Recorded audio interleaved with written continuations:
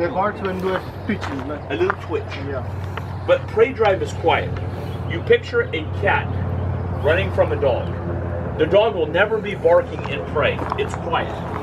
It's running after the cat. It's quiet. The cat goes to the corner and hisses.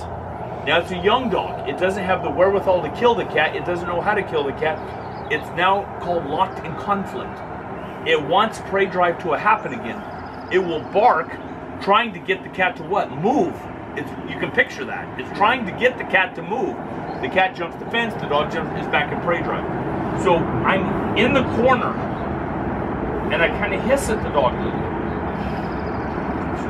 and she barks. Now I move a little. Does that make sense? It's not hissing and we not be there. We don't want to try and there's nothing. Right? They won't do. No, but they're They'll not. just stand still and look over. Yes, but that's many sessions.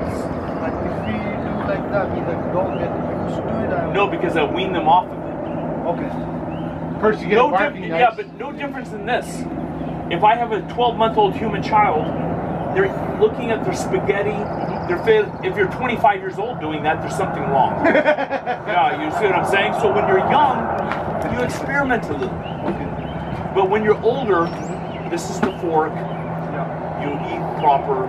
You know what I mean? So when they're young, you have to let them figure out the barking, the spaghetti, the prey drive. Does that make sense? That's going to be your job. So with with Cinder, what happens? Roger's going to um, actually trial trial with the dog. I'm going to do the track obedience, and he wants to handle the dog for protection. But anyways, she's pretty good in the other two phases. But anyways, um, She has to learn defense, fight, and prey drive. but she's so aware. Yes, but she has to learn this. So she came in on me, she did not look around.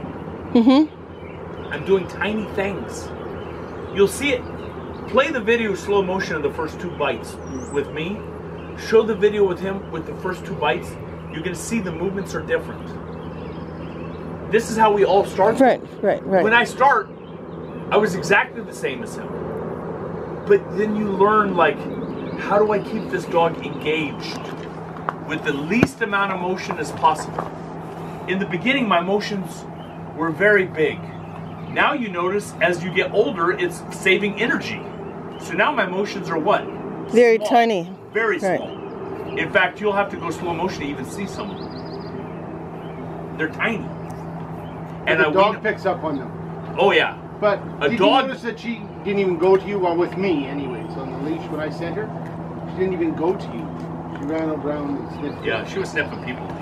Like She was tired. The too. same thing with him, and she just has that capability of, Of just checking wigging out. out. Yeah, just gone.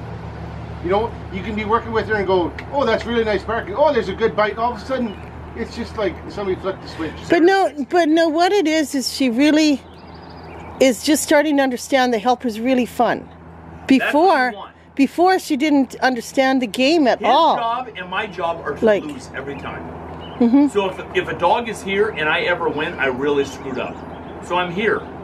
The next Pushing session her up, she's yeah. here, I'm here. hmm I push them more and more, but I have to lose. And that's the same with Karma. Like, All like. Karma, Karma is No, um. all dogs.